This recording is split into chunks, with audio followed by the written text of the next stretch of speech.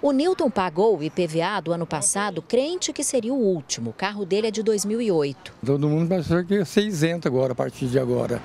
Agora é, tem que comprar um carro mais velho para poder dar conta de andar com ele, porque as despesas é muito grande.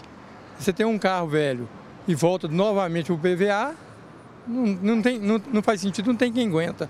Por força de uma liminar conseguida pela Prefeitura de Goiânia, carros com 10 anos de uso vão pagar imposto. Só aqueles com mais de 15 anos estão isentos. A alegação é que a medida gerava um prejuízo de 360 milhões de reais. A expectativa esse ano é arrecadar com o IPVA 1 bilhão e 400 milhões de reais. Dinheiro que vai metade para o Estado e metade para o município onde o veículo está emplacado. O contribuinte continua tendo a opção de parcelar o pagamento em três vezes alguns têm desconto. Veículos que têm até 100, 100 cavalos, na verdade. Não é um, porque tem veículos 1.0 que têm mais de 100 cavalos. Então, veículos 1.0 com mais de 100 cavalos não gozam do benefício de redução de 50% de, do, do IPVA. Só até o veículo possui 100 cavalos e motocicletas até 125. Quem se inscreveu no programa Nota Fiscal Goiana também tem redução de 5% a 10%, dependendo do número de cupons fiscais registrados.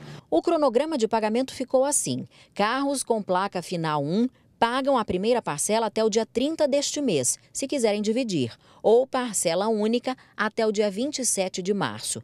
Final 2 pagam a primeira em 5 de fevereiro, ou tudo no dia 5 de abril, e assim por diante até o final zero, que pagam em 30 de setembro a primeira ou a parcela única em 29 de novembro. O calendário está disponível no site do Detran e o boleto também. As pessoas não precisam se deslocar da sua residência para vir até o Detran ou qualquer unidade para é, retirar o boleto para pagamento. Está bem tranquilo hoje em dia, não está tendo.